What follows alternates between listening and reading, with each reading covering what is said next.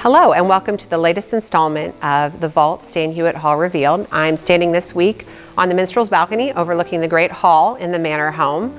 Uh, this week we're going to talk about the Seiberling family's philosophy. They use this term stick togetherness to describe themselves. Uh, they were a very close knit group.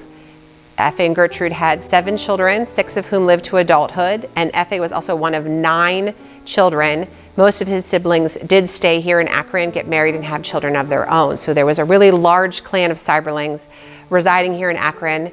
They interacted with each other socially, professionally in the business world, and then, of course, on a familial level during holidays and gatherings. And this was really one of the motivating reasons when F. and Gertrude were talking about building Stan Hywet Hall to make it so large. They knew their own children would eventually grow up move away, but they wanted a place where everybody, their family as well as their extended family, could come back to and gather together. And in a letter that Willard Seiberling, um, F.A. and Gertrude's one of their middle sons, wrote to his own children in 1954, he kind of describes this stick togetherness philosophy. The stick together family doesn't just happen. It is built on the kind of home in which the children grew up, on the spirit of happiness and harmony that existed in the home on the love of the parents for their children and the devotion of the children to their parents.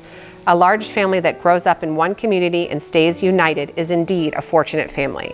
I've been exceedingly fortunate in that all my life I have lived in one community where our large family has been a stick together family. But also Stan Hywet's service as a family meeting ground, a place of gathering at the holiday season, etc., should continue, as this was the first and primary reason for its coming into existence. At the passing of 144 East Market Street, Father said he would have to build a home big enough for, for all the big family to gather in, in order to keep the family together. This original purpose we should continue to bear in mind. So in 1954, when Willard is writing, um, F.A. Seiberling is really, will only live a few more months at this point. He passes away in August of 1955. And Willard is kind of recognizing that this is a moment when, if they are going to continue this tradition of stick togetherness, it's up to his generation now and his children who are becoming adults to continue to be a stick together family. So, thank you so much for joining me again this week, and I look forward to seeing you at the next installment of The Vault Stan Hywet Hall Revealed.